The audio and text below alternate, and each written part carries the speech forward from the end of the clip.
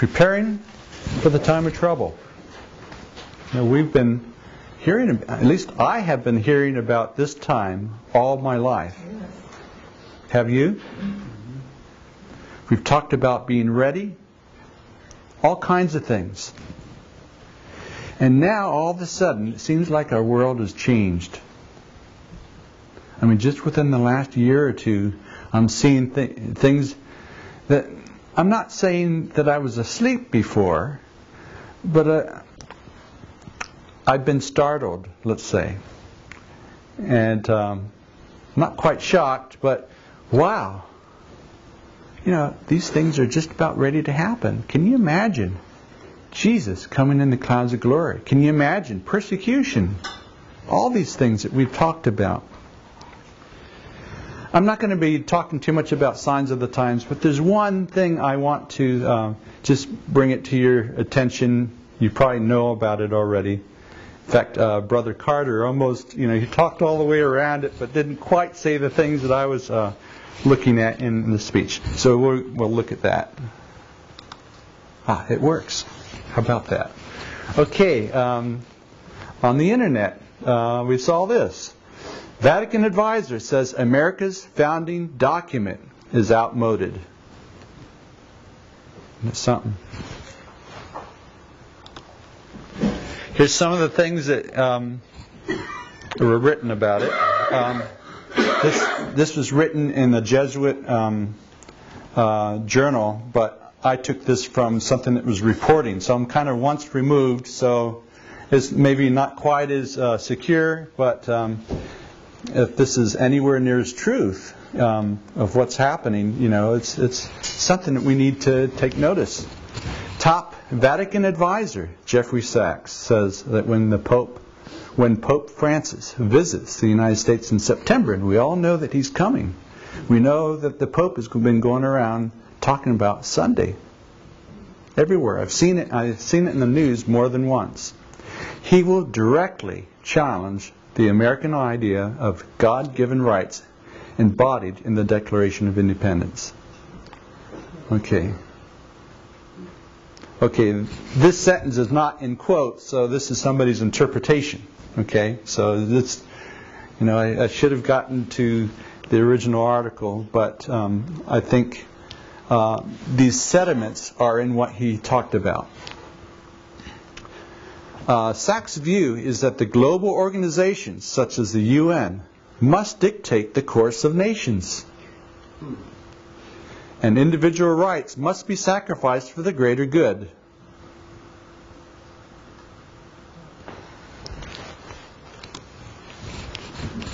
We will need, in the end, to put real, real resources in support of our hopes. You know, and I, I look at that. Whose hopes? Well, he wrote, now here we do have a quote. A global tax on carbon emitting fossil fuels might be the way to begin. Even a very small tax. Now, what does he consider a small tax? Well, 800 for the United States, 845 billion dollars, which is not too far from a trillion. You know, if that's a small tax, I wonder what the large taxes that they have planned for the future. The Pope will call on the world at the United Nations to join the crusade for a new world order. Rather than emphasize the absolute need for safeguarding individual rights in the face of government overreach and power, Sachs writes that the gospel teachings of humility, love, and justice, like the teachings of Aristotle, Buddha, and Confucius, can take us on a path to happiness can you imagine um, Aristotle, Buddha, and Confucius leading us to happiness? The plan is quite simple. World government through global taxes with a religious face to bring it about. So it looks like the Pope is going to be um, spearheading uh, or trying to spearhead a movement uh, for everybody to get on board the New World Order. And they're going, putting this religious face on everything.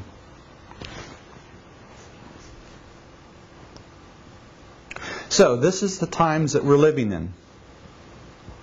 I don't know if this is exactly what he has planned. We're going to see what happens in September. But I think it's time to seek the Lord if we haven't done so before. And I'm sure most of us have sought the Lord. But I know in myself, maybe I haven't sought Him to the degree that I need to be. Here's a, a verse that we all know Zephaniah 2, verse 3. This is slide 5, by the way. Seek ye the Lord, all ye meek of the earth, which have wrought his judgment. Seek righteousness, seek meekness. It may be ye shall be hid in the day of the Lord's anger. Now, as I look at this, and it's not quite worded like a promise, is it? It's, it's more like a hope. Seek the Lord because He may hide me in that day. Isn't that? It might not be the kind of assurance, but yet there's a hope there.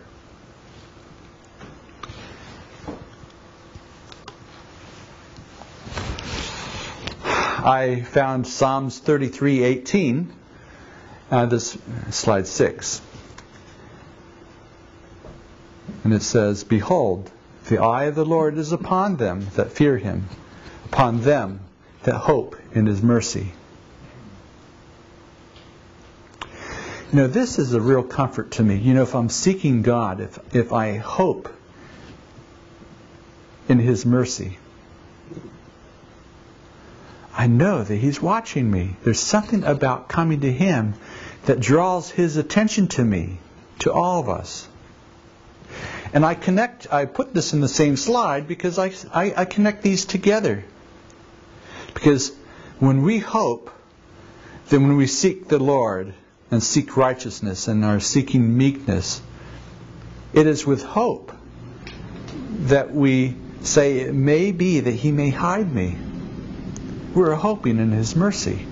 And we're do, when we're doing this, God, the apple, we become the apple of His eye. And when I put these together, I, I almost I, I see the beginnings of a promise. Something that we can hang on to, hold on to.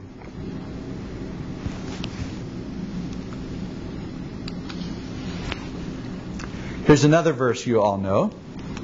Isaiah 55 6.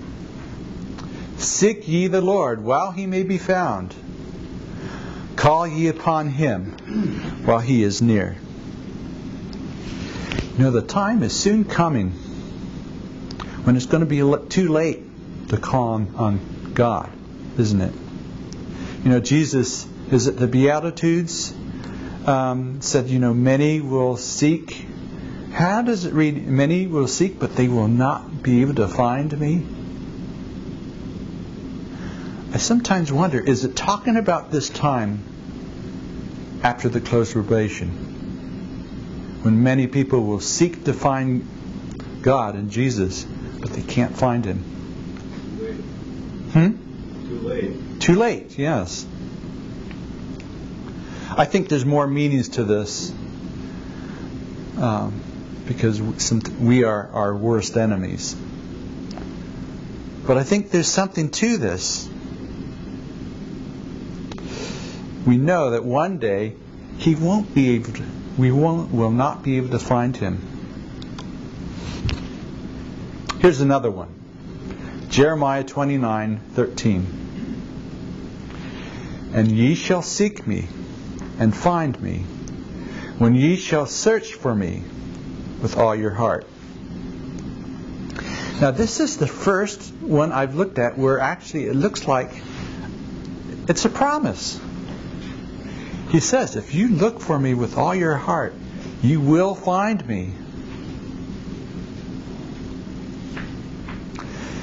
In my own experience, I've looked at this and I thought, you know, have I ever looked at him? Have I ever searched with all my heart?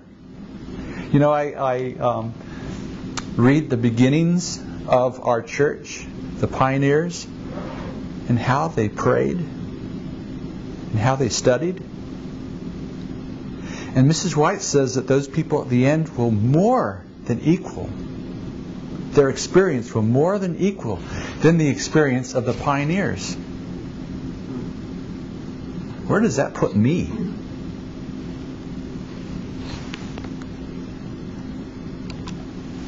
I like putting these things together. So I have all four verses here in slide 9. And I'm going to I'm going to read these, and I might read portions of it. I might change a word. I might skip some things. But seek ye the Lord while he may be found. Call ye upon him while he is near. It may be ye shall find ye, ye shall be hid in the day of the Lord's anger. Because the eye of the Lord is upon them that fear him, upon them that hope in his mercy. And ye shall find me when ye shall search for me with all your heart. Um, uh, yesterday, uh, what was his name? Um, he mentioned that we have lost the ability to study the Bible line upon line. You know, we do a lot of reading. I know I do. Jack Barney. Yes, Jack. Yes, that's right, brother. Um, what's his last name again? Barney. Barney. Okay, brother Barney. Um, this is just just a, a, you know, when we put things together, we get a richness that we don't get otherwise. And this is a message to myself too, because I, say, look, I need to study. You know, I've studied various kinds of things, but I don't do it as a rule, and I need to.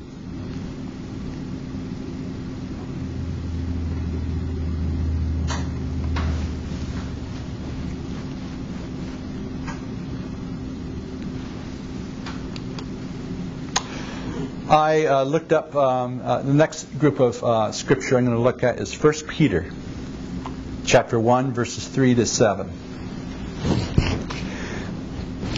Blessed be the God and Father of our Lord Jesus Christ, which according to his abundant mercy has, hath begotten us again unto a lively hope.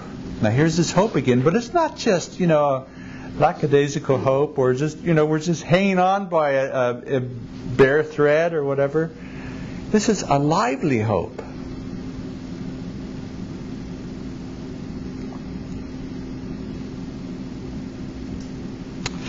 Which according to his abundant mercy hath begotten us again unto a lively hope by the res- resurrection of Jesus Christ from the dead to an inheritance incorruptible and undefiled, that fadeth not, reserved in heaven for you. How can it not be a lively hope with a message like that? Who are kept by the power of God, read in verse 5, through faith unto salvation, ready to be revealed in the last time, wherein ye greatly rejoice. Are we rejoicing greatly? Is it a lively hope? And by the way, when I when I uh, um, work on a sermon, it's you know what do I need? These are my problems. Have I really given myself fully to God so that hope of his soon coming is a lively hope within me. That I rejoice in the Lord, that it means everything to me. Is that our experience? Going on in verse 6. Though now for a season, if need be, ye are in heaviness through manifold temptations you know, we have some birth pangs to go through, don't we? We know it's coming. And it's something that must happen. Now let's read verse 7. That the trial of your faith, being much more precious than than of gold that perisheth, though it be tried with fire, might be found unto praise and honor and glory at the appearance of Jesus Christ. Now, what is it that's more precious than gold? It's not rhetorical. I'm, i want, want some feedback here. What is it that God wants from us? Our hearts. Our hearts, okay? Our character, Beauty. yes? I'm all ears. Our whole being. Our whole being. I was I was thinking of the experience, you know, that the trial of your faith, there's an experience that we're going through, being much more precious than gold. Now, if we go through the experience and we keep failing, do we gain anything?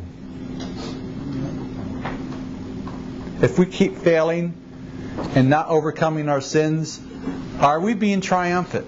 No. No. It, would it be something that um, might be found unto praise and honor and glory at the appearing of Jesus Christ? Is it something to rejoice in when we find that we're failing? No. That happiness, you know, the presence of the Holy Spirit working in your own life for some reason isn't working. If that isn't happening, is there a joy within us? See, there's one other, one other thing. This uh, center part, you know, more precious than gold that perisheth, though it be tried with fire. Now, what does that suggest? We're going to be tried to the utmost.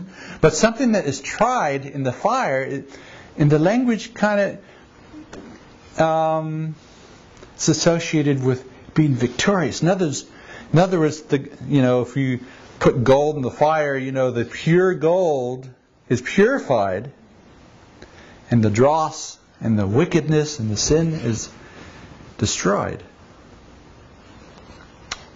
That we be tried in the fire, she's, we're talking about the righteous. The righteous are tried in the fire.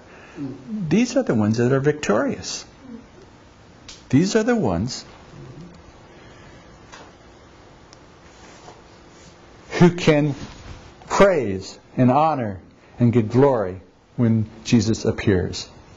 There's an experience here, a triumphant experience that God's people will experience. If we don't overcome, there's going to be no benefit. So the trial of our faith, the experience that God wants from us, is to result in victory.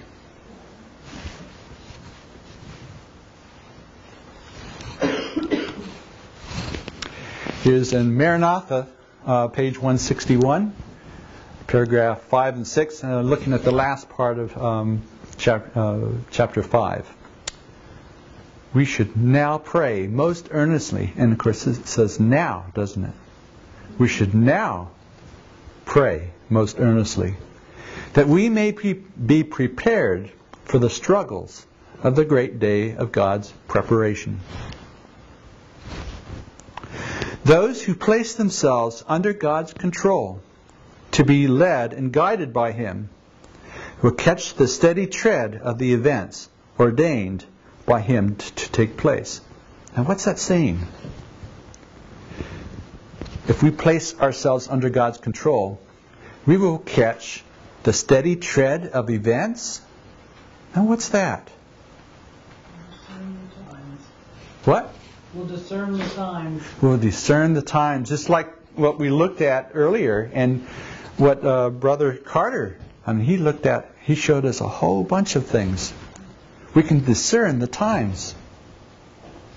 But it doesn't just say the workings of the devil, it says the steady tread of the events ordained by him. You know, not only is God ordaining or allowing Satan to do his work, but God is going to be doing a work as well. And I believe this includes the working of God in our hearts and events around us which should, and will stir the righteous to be doing what they should be doing. And we're going to see this. Inspired with the Spirit of Him who gave His life for the life of the world, that's Jesus, they will no longer stand still in impotency, pointing to what they cannot do. Now, what are we doing now? You know, I take the cake. You hear I'm a colporteur. I'm telling everybody I'm colporteuring. I've been sick, and the trauma of forgetting what I'm talking about right in the middle of a canvas, or, you know, I've been pretty sick.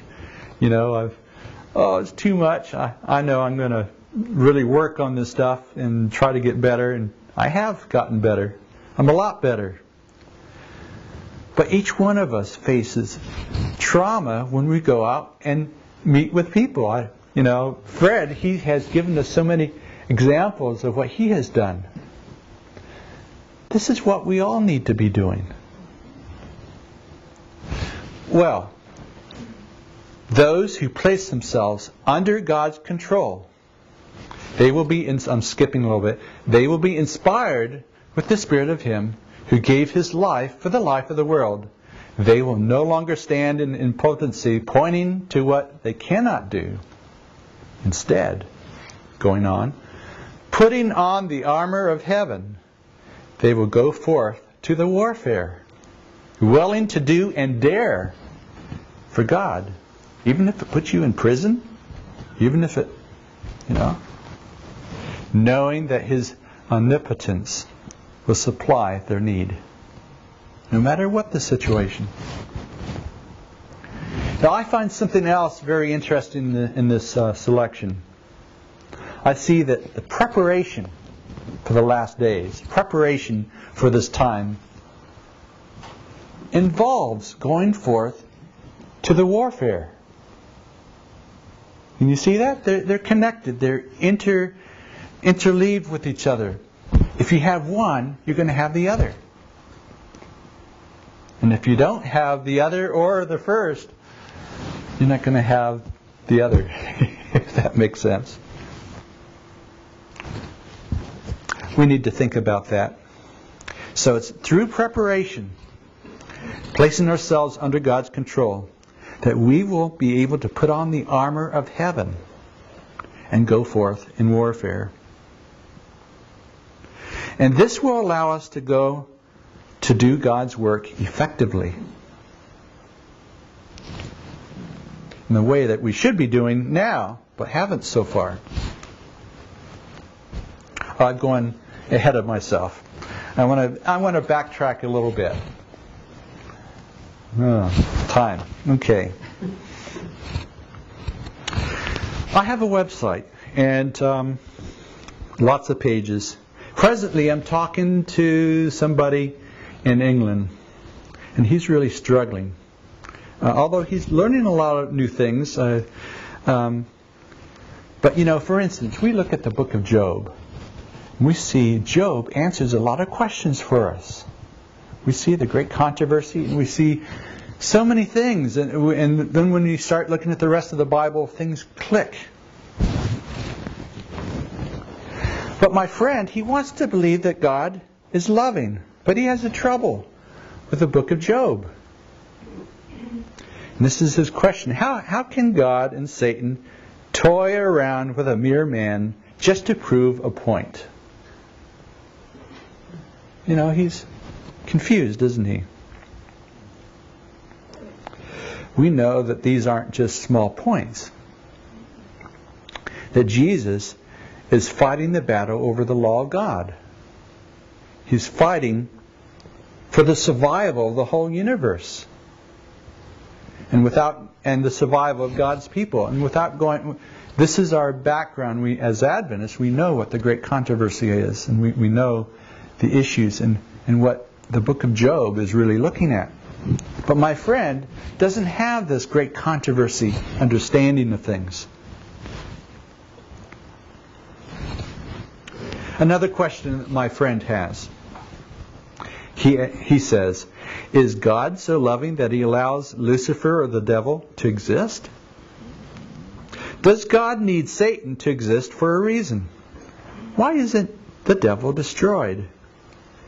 Why did God even make Satan? But see, these are intricate things that we understand as Adventists. We put these things together. And it's a blessing. And this understanding, I think, is essential for a salvation. Because it's not just point this point or that point. It's all the parts coming together. Another thing, just just one more thing, and then I'm going to go on. Another point that he wonders about, he's been looking at demons, disemboweled spirits, fallen angels, irredeemable beings. Have you heard of that one? Or hybrid creations? You're talking about UFO people and, and all this kind of stuff. And he actually believes that God has created irredeemable creatures. Like, you know, he looks at gargoyles and, and I don't even know the names of all the um, hideous things that are written. But he has read a lot of Christian literature. But he doesn't realize that what he's really studying is paganism. You know, the Christian church is so infused with paganism. Either like with the Catholic Church, it's virtually almost 100%, but with Christian terminology, or you have the daughters which uh, have partial paganism. They're, yeah, they follow the Bible and lots of things, but yet the confusing aspects are still there, aren't they? So it's no wonder he's confused. He's, this might be a, a wild, extreme case, but maybe not. You know, this is this is a person out there, especially like in Europe. Um, the kinds of things that have been, the ideas that have been tossed back and forth, um, they are in utter darkness. And Satan has worked to confuse the whole world in various ways. He has so many ways, so many uh, versions of darkness. He has darkness for everybody. But I believe, and I know you do too, that God needed a special people with a special knowledge in the last days. He had to. Virtually, I don't know of any other group that really understands the Bible. Everything is confused with darkness, with paganism. And so back in the 1800s, he led the early Adventists to a better understanding of present truth. He did that. Okay, that's we're ready for this quote now. This is slide 12. In the early days, and we have seen these quotes over and over again, but this is one I haven't seen too much, and it makes certain points I, want, I wish to bring out. In the early days of the message, when our numbers were few, we studied diligently. I don't. I guess you have the screen on the, the board. Okay. We studied diligently to understand the meaning of many scriptures. At times it seemed as if no explanation could be given. My mind seemed to be locked to an understanding of the Word. But when our brethren who had assembled for study came to a point where they couldn't go no further. They could go no further. I'm going to stop here. I grew up in Takoma Park, Maryland. I went to JNA Elementary School, John Nevins Andrews School. In third grade, we had a, a field day. Uh, we went one day they had grades one through four go to the White Estates, and then it was five through eight the next day. And so we went, all went to the White Estates. I can remember going in there, peering into the vault, and wow, all the letters that she actually wrote is in here. And then they brought out that Bible, you know, that she held up for was it 20 or 30 minutes, or I'm not sure how long she held it up. And so they, you know, made it interesting for the kids and for us. And so, how long can you hold this Bible up, you know, with both hands, you know? And so various ones, you know, uh, tried to, and I, I don't remember how long. It wasn't very long at all. It's a big book. Uh, so I can remember that day fairly well. There's something else that I remember as well. They said, and I can remember this to this day, they said,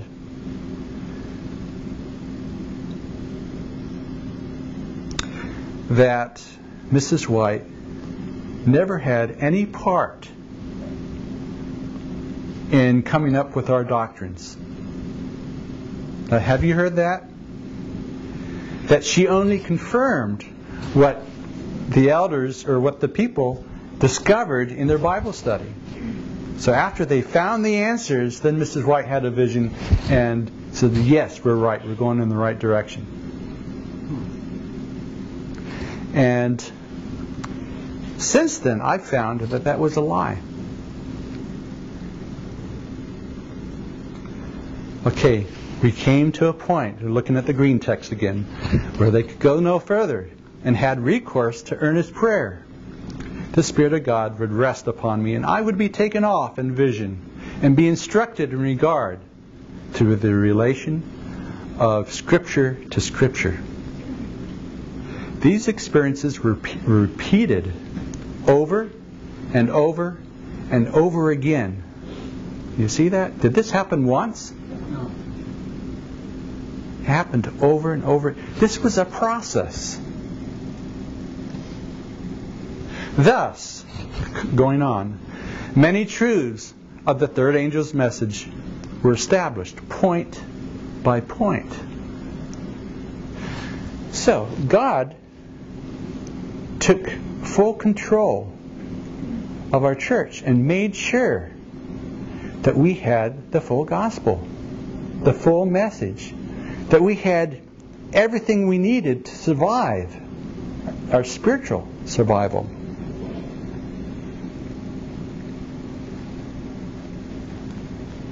Okay, now the rest of this I don't have in a special color, but it's probably one of the most important parts of this quote. And this shows Mrs. White's own understanding, her feeling for this whole topic.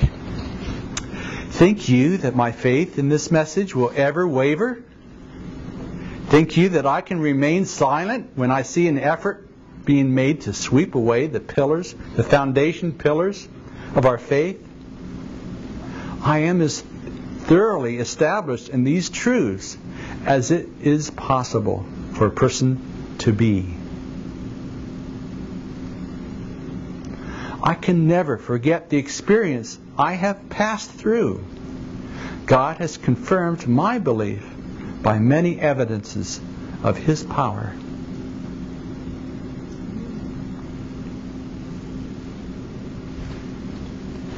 You know, it's because God has led us as a church that we have the truth for these last days. I'm just going to look at uh, just the outline text, the red text, uh, slide 13. This is, I'm sorry, I'm not announcing. This is Review and Herald, June 14, 1906, paragraph 19. Some of the instruction found in these pages were given under circumstances so remarkable as to evidence the wonder working power of God in behalf of His truth. Sometimes, and she talks about how um, she stopped breathing. She had various uh, kinds of uh, things happen. It was while there was no sign of any breathing, but I kept talking of things that were being presented before me. I have found evidence in the Old Testament that in some of the early um, um, prophets had the same kind of thing. Um, I don't have it here, but I've, I've seen that. So maybe there's significance as to how and why um, she had her visions.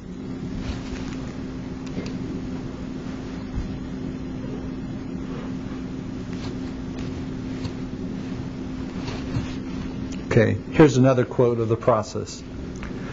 A transforming power attended the proclamation of the first, second angel's message. It says, as it attends the message of the third angel, and this is, I'm sorry, second selected message is uh, 109, paragraph 3. Lasting convictions were made upon human minds. The power of the Holy Spirit was manifested. There was diligent study of the Scriptures. And don't think for a moment that they just sat around waiting for God to tell them what truth was. They had to put the effort out. They had to do the Bible study. And when they could find no more, they were stuck, that was when God acted and He set them in the right direction. Can read the, the blue part again. The power of the Holy Spirit was manifested. There was a diligent study of the Scriptures, point by point. Almost entire nights were devoted to earnest searching of the Word. We searched for the truth as for a hidden treasure. The Lord revealed Himself to us. Light was shed on the prophecies, and we knew that we received divine instruction. And, and, and this, this is just two um, rather short um, quotes, but there are many other places. You put all these together, and you know that we have been led by God. Now, if our church began by a study of the scriptures, you know, the people came together and we didn't have any special leading. And we had Bible study. We came up with truths. Well, if that happened, I could readily imagine that, well, one day, you know, we might discover new truths. And wow, this is neat. We need to change our understanding. We need to, you know, and I'm not talking about anything. I'm talking about our the basic pillars of our faith, okay? That needs to be understood the very things that we've been instructed about. But if it was just our own study, like all the other churches, well, our knowledge could, could increase and we might expect change as time goes on. And I think that's what the church presents to our to the Adventist uh, membership because of course Mrs. White had nothing to do with our you know are coming up with our doctrines. But now, the early Adventists were instructed by Jesus through an angel and through Mrs. White, and they were they were led to a proper understanding of a group of understanding. You know, we have the met, the um, sanctuary service we have how Jesus came down. We have who God is, who Jesus is, and that he became our example, that he became human. We also have the three angels' messages, and when we put all these things together with things I'm not mentioning, they present a picture, a mosaic. And everything has to be there because they add to the one adds to the understanding of the other. So if this is true, and it is, how could we even think of changing our major doctrines?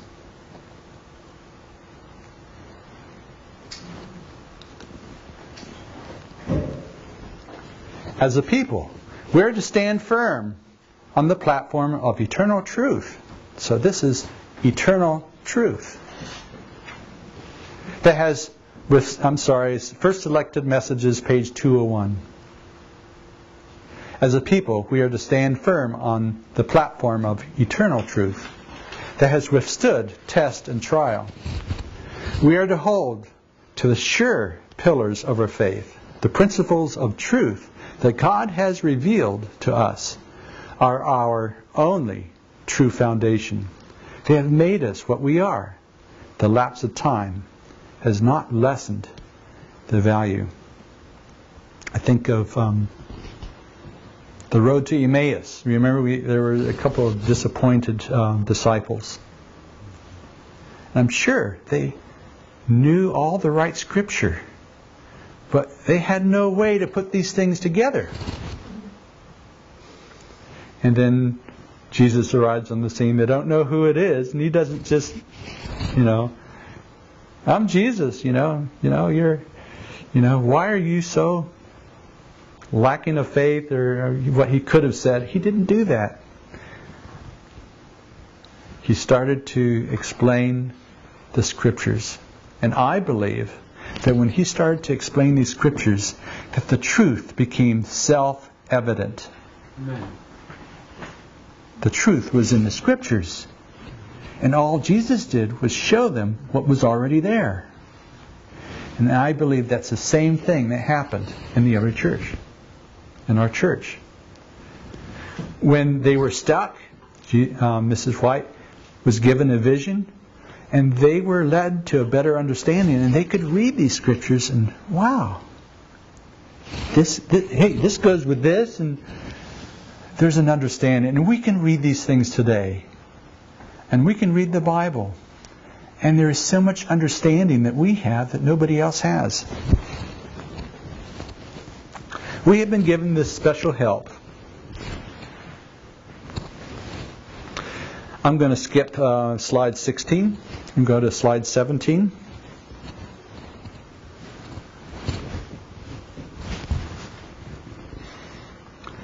The theme of greatest importance is the third angel's messages. And, um,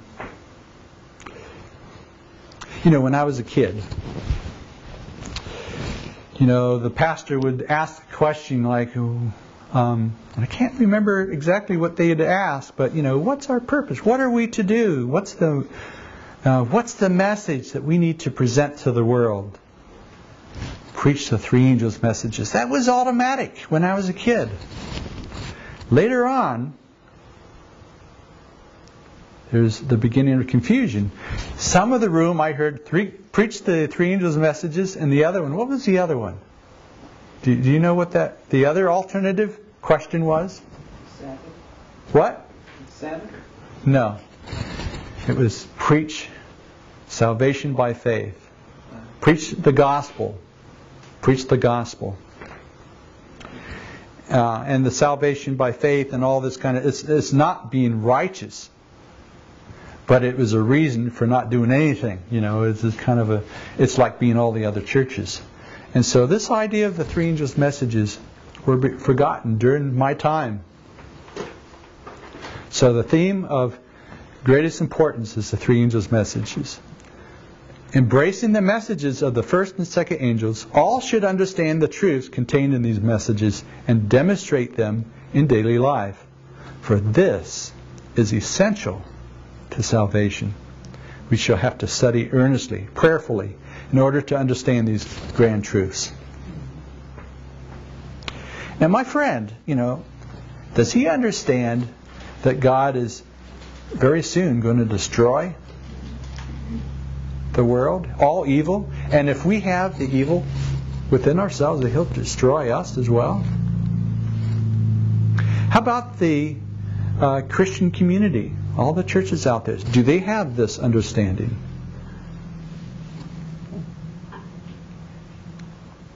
What understanding? The understanding that uh, the three angels' messages is is important and I, I, might be getting ahead of myself. Uh, they they don't understand that God is going to come and destroy evil. But not only that, but if we have any evil sins in our lives, we will be destroyed as well. So we must not have any remaining sin in us.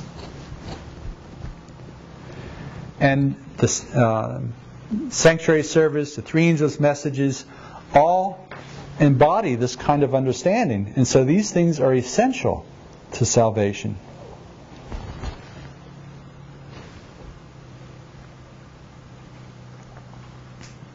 How about Adventists? Do they under, have this understanding anymore? Many do not.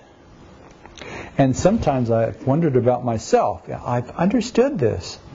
But it's almost as if, you know, well, you know, maybe I don't quite think about it. You know, God will, you know, help me along, you know, and now somehow He'll do it automatically for me. I, I'm not sure how I think about it, but maybe some of us have problems with the, this idea of getting rid of sin because maybe we aren't doing it with the urgency that we need to be doing it with. Slide 18. The Lord has, has been pleased to give his people the third angel's message as a testing message to bear to the world. Now, obviously, this will be a testing message to everybody in this world. But is this a testing message to us as well? And are we going to be tested at the same time that the world is tested? Well, if we're to give the message, see the right answers popping out. Uh, if we're to give the message, we need to be settled in these things and to live these things before that happens. Going on, John beholds a people distinct and separate from the world who refuse to worship the beast or his image who bear God's sign, keeping holy his Sabbath.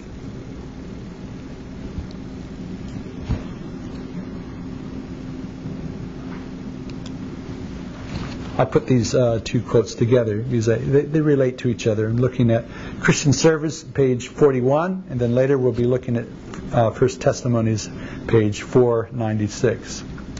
This is one of those 1 in 20 statements that I'm sure we've heard. It is a solemn statement that I make to the church that not one in twenty whose names are registered upon the church books are prepared to close their earthly history and would be as verily without God and without hope in the world as a common sinner. So most of the Adventists are essentially going to be destroyed along with the utter wicked of the earth. And the second statement, I know it says to the young Sabbath uh, keepers, but I, I relate these together. You know, one kind of explains the other. Young Sabbath school Sabbath keepers are given to pleasure seeking. I saw that there is not one in twenty who knows what experimental religion is. And it might be because of our lack of struggling with God. And like I said initially, you know, the early pioneers, they prayed, they studied. She says that the the um, in the last days that they will more than equal what was experienced then. But there will be many who will not have this experimental religion. And so they will be without hope. And we must not be among this group. I keep telling myself, I cannot be. And I know you you believe the same way as I do. Philippians 2:12 we all know very well. Therefore, my beloved, as you have always obeyed, not as in my presence only, but now much more in my absence. Work out your own salvation with fear and trembling.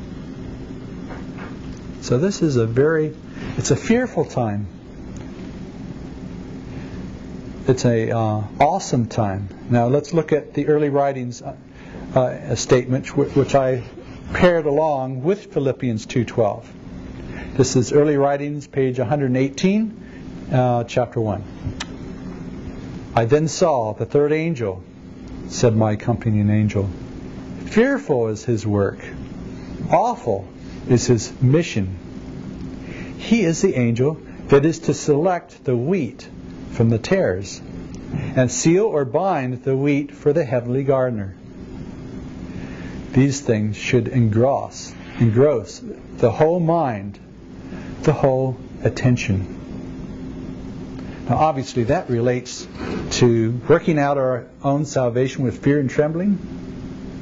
This is an awesome subject, and it involves our, our future.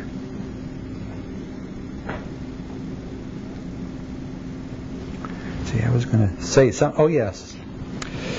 Pays to look at my notes every once in a while. This reminds me the early writings, you know, this third angel who decides who is sealed and who is to be burnt. Reminds me a lot of Ezekiel 9. Does that ring a bell? Where there's an angel that's going to mark those who are crying and sighing.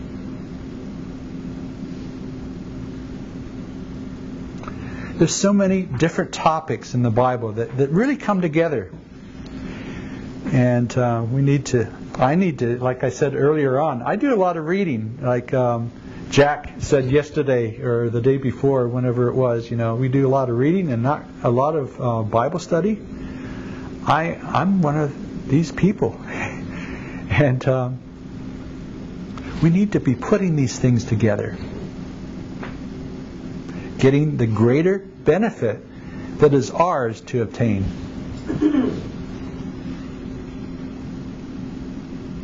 And it may look like I'm uh, I'm quoting texts that refer to completely different, different kinds of topics. For instance, we talked about the three angels' messages. We're talking about uh, working out our salvation with fear and trembling, and uh, and this uh, next quote, uh, which is different. Let's see. My accompanying angel. This is uh, early writing 64, paragraph one.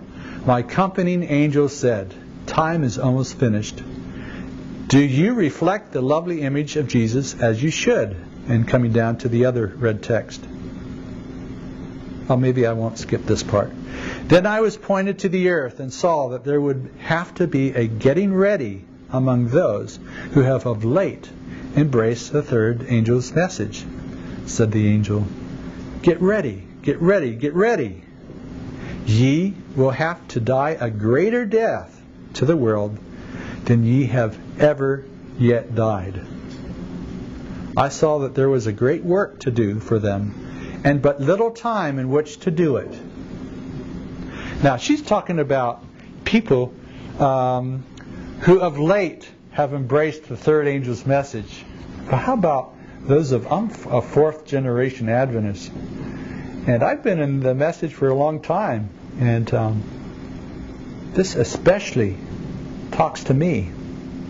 Maybe many, most, or all of you. We're not ready. I believe that. We will have to die a greater death to the world than ye have ever died. Whoops, I kept it down too long. Well, we're going to 22? Okay Get this upside down.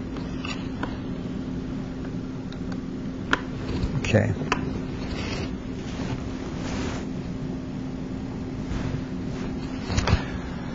The third angel. This is uh, Christian Education, page 45, paragraph 1.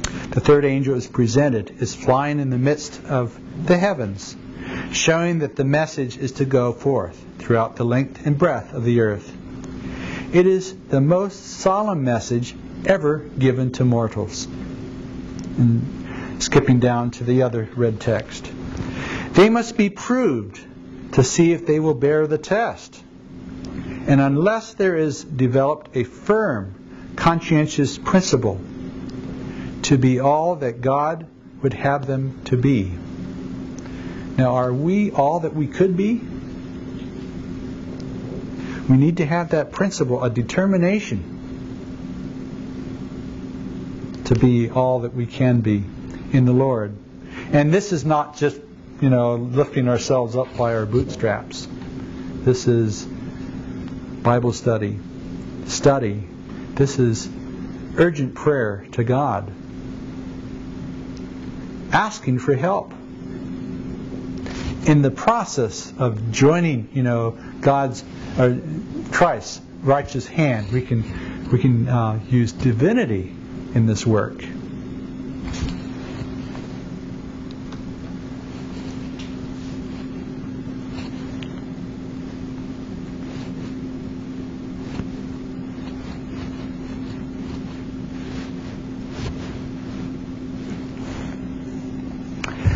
God leads his people on step by step.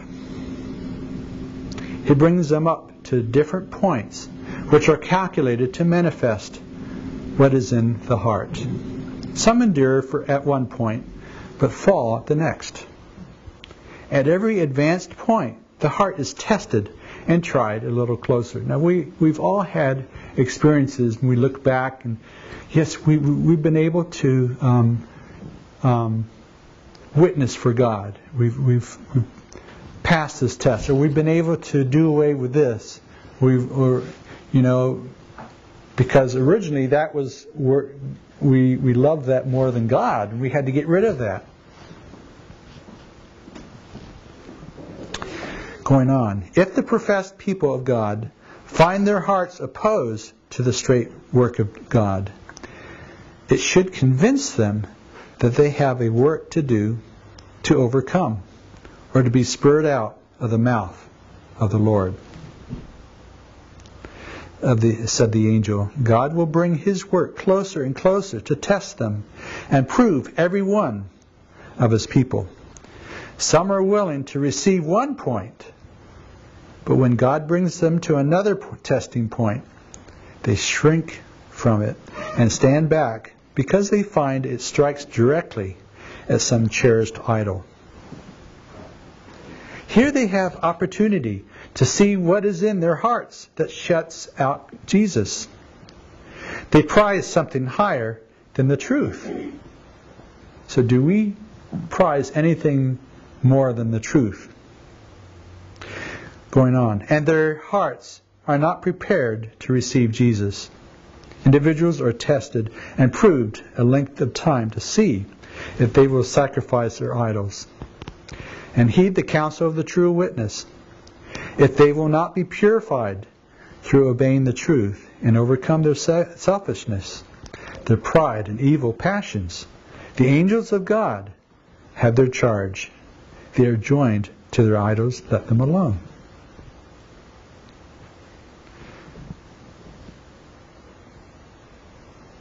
and they pass on to their work, leaving them with their evil traits unsubdued to the control of evil angels. Those who come up to every point and stand every test and overcome, be the price what it may, have heeded the counsel of the true witness, and they will be fitted by the latter rain for translation. Now, because we've stood up for God in the past, obviously, is no guarantee that we're going to continue. We're going to have to fight every step along the way, and we'll be tested at every step along the way. Okay, I have two more quotes. This, um, let's look at them uh, quickly, but this is important too. Um, I'll read this first and then we'll talk about Elder White. I was shown that if God's people make no efforts on their part, but wait for the refreshing. Okay, what's what's the refreshing? The latter rain. Okay. So, if we wait for that time, it's too late. It's too late. We need to be doing these things now. I was shown that if God's people make no efforts on their part, but wait for the refreshing to come upon them and remove their wrongs and correct their errors, if they depend upon that to cleanse them from fit, filthiness of the flesh and spirit, and fit them to engage in the loud cry of the third angel, they will be found wanting. The refreshing or power of God comes only on those who have prepared themselves beforehand. I added that word beforehand.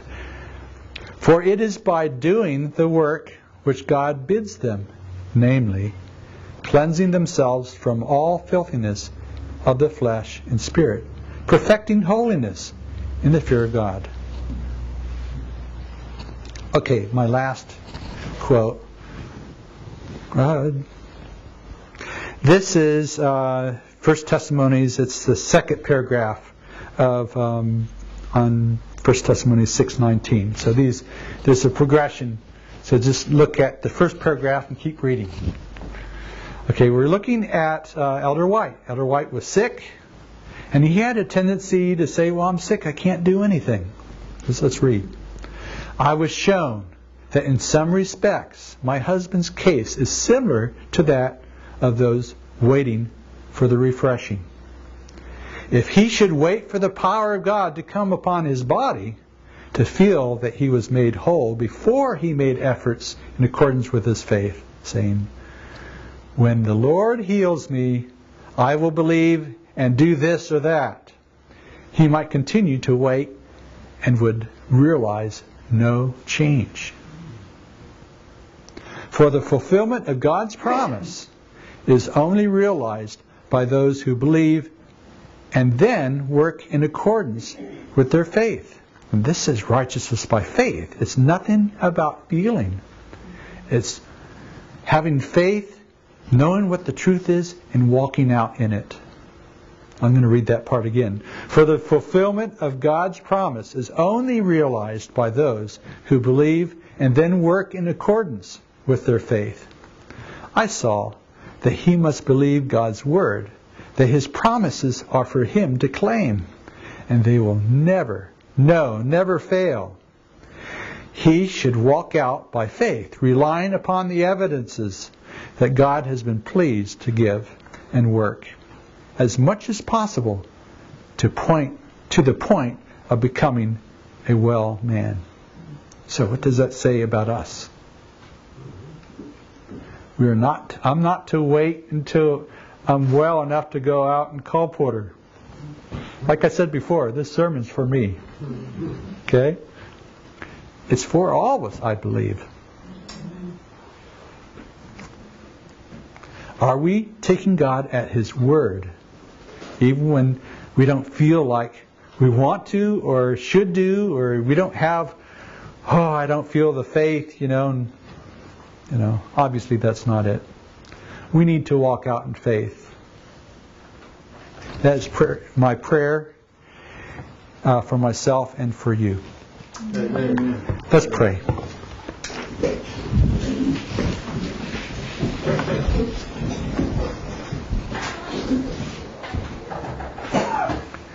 Kind Heavenly Father, thank you so much for loving us so much that you are leading us step by step. You've even taught us what your holy book teaches us so that we can have a deep communion with you. That we can take part in your work and be effective because your Holy Spirit is in us. That we will have the testimony of Jesus. That people will see something in us. Oh, Father, help us to be of this number. Because if we aren't, somebody else will have that, that privilege. Help us to have that privilege, Father.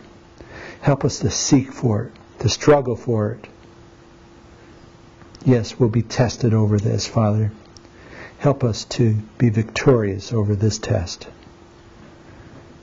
Because you love us so much, Father. You don't want us to leave, to not win over these things. And you've given us all the power that is necessary. Your grace is sufficient for us. Praise God. Thank you so much. In Jesus we ask this. Amen. Amen.